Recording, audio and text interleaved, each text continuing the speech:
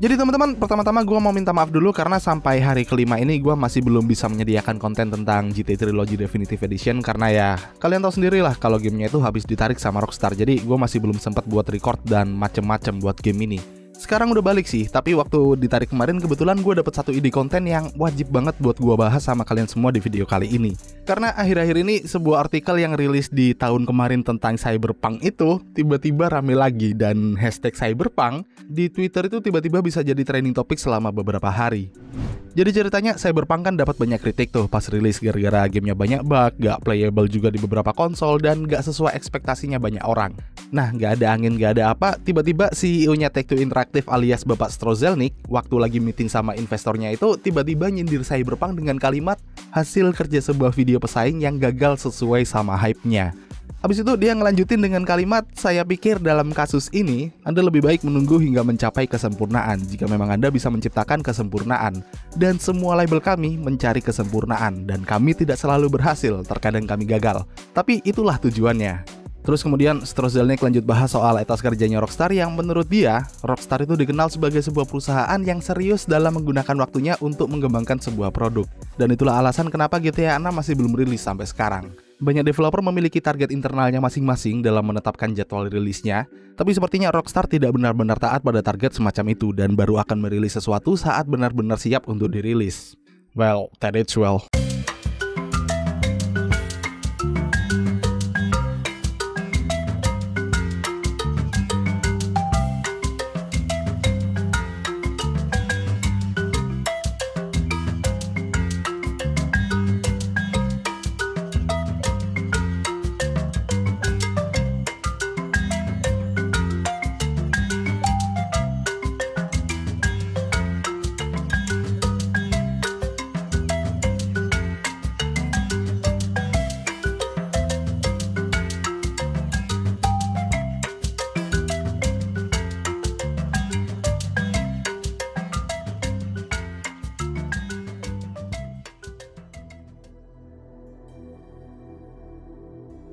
Dari sini gue nggak perlu komentar banyak karena ya kita semua tahu ceritanya gimana sama GTA Trilogy Definitive Edition.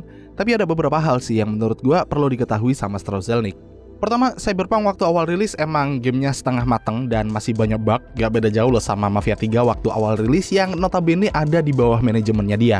Di mana mereka ini baru meresmikan Hangar 13 alias developernya Mafia 3 pada bulan Desember 2014 dan kemudian langsung menuntut mereka supaya Mafia 3 itu siap rilis di bulan Oktober 2016. Emang sih Mafia 3 sebenarnya udah mulai dikerjakan setelah Mafia 2 rilis, tapi waktu itu ada banyak banget masalahnya.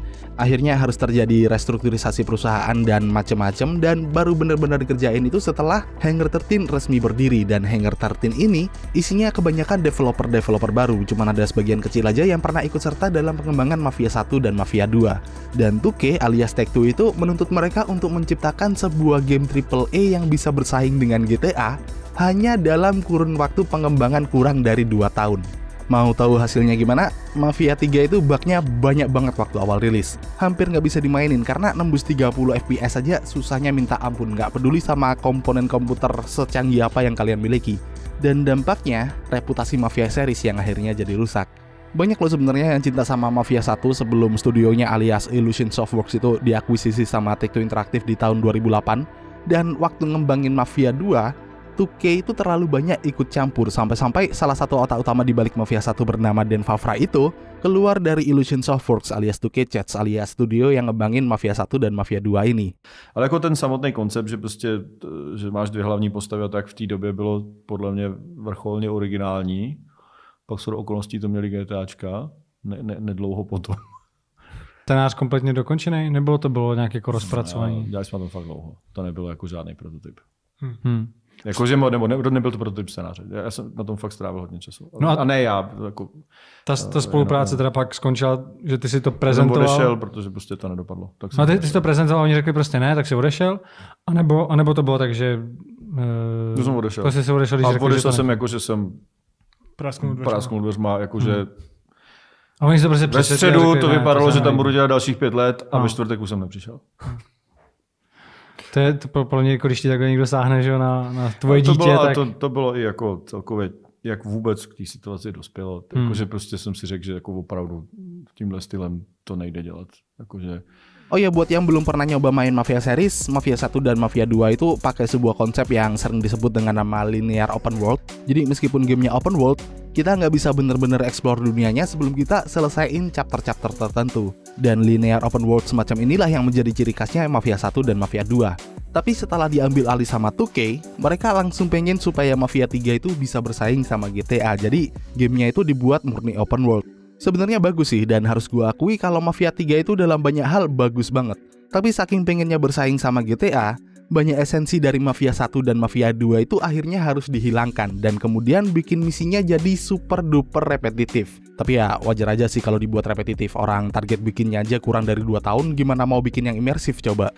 Dan hasilnya meskipun Mafia 3 merupakan game mafia yang paling laris di dalam franchise-nya, 2K akhirnya memutusin untuk nggak ngelanjutin franchise ini. Jadi ya, rest in peace Mafia. Tapi untungnya waktu diberi tugas untuk ngerjain Mafia Trilogy Definitive Edition, Hangar 13 itu bener-bener ngerjain dengan sepenuh hati. Remake untuk Mafia 1, banyak perbaikan untuk Mafia 3, dan uh, Mafia 2 rada sedikit downgrade sih tapi ya nggak bisa nyalain developernya juga. Karena kalau kita lihat hasil akhir dari dua game yang lain pasti ada sesuatu yang membuat mereka nggak bisa develop gamenya dengan sempurna. Yang sepertinya target jadwal rilis yang terlalu mepet. Dan Mafia ini bukan seperti GTA loh ya, di mana fansnya itu selalu nuntut untuk ada GTA baru dalam waktu dekat. Tapi ujung-ujungnya para developernya juga masih dikasih waktu yang cukup mepet untuk ngembangin gamenya. Nah yang kedua, Cyberpunk waktu awal rilis itu ngasih preload ke semua platform termasuk PC. Jadi nggak ada player yang ngerasa dapat perlakuan gak adil. Dan meskipun setelahnya mereka dapat kritik besar-besaran karena gamenya ngebug banget, paling enggak si DPR tidak pernah menarik kembali game yang udah dibeli sama player. Emang gamenya sempat ditarik dari PS Store, tapi bagi yang udah beli, gamenya itu masih ada di library dan CDPR bahkan menawarkan refund massal buat orang-orang yang pengen uangnya balik. Lah Rockstar dan Take-Two mana ada secara publik bilang kalau mereka nawarin refund. Yang ada mereka cuma balas di Twitter reply dan ngasih sebuah link yang menuju ke halaman ini. Terus dari sini konsumen harus gimana? Gak ada arahan mendetail atau gimana gitu kah? Atau niatnya mau pamer ini loh gue punya banyak game ada RDR ada GTA 5 ada Max Payne ada Bully nggak mau dibeli juga kah? Ini yang paham cara refund di sini ya cuman orang-orang yang udah pernah ngajuin tiket di Rockstar Support. Dengan catatan mereka harus paham bahasa Inggris juga. Buat yang nggak tahu ya pasti bakal bingung seterusnya harus ngapain.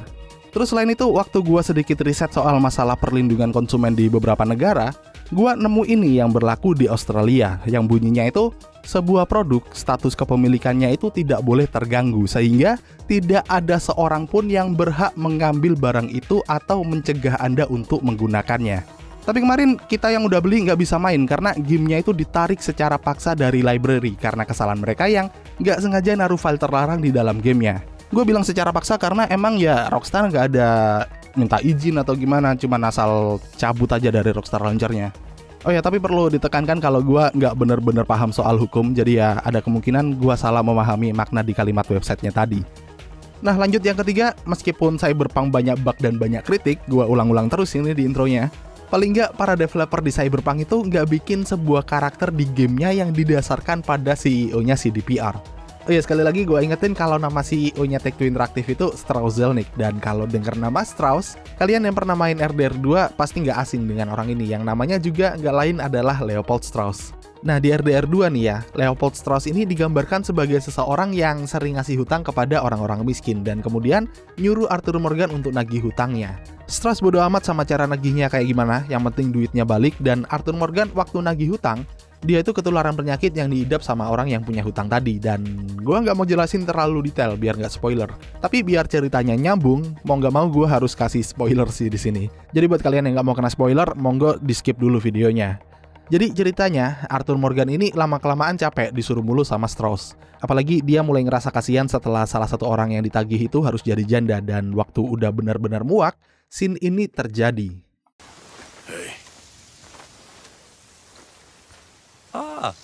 How did you get on, Mr. Morgan? Just dandy. Hmm. Just get up. What? Get up. What? What is wrong? Nothing's wrong. Nothing at all. What are you doing? Something I should have done a long time ago. Get your bag. Is this it? I don't understand. I ain't gonna kill you, though I probably should. You disgust me. And you shame us. If we could be shamed any more than we already are, that should do. Go! I don't understand you. What are you doing? Go and get a job! You know, they, they say the sick delude themselves. I was your friend. You and me, we ain't decent. But those folk, they was. Now here, take that. Take that and get lost. I'm. Leaving.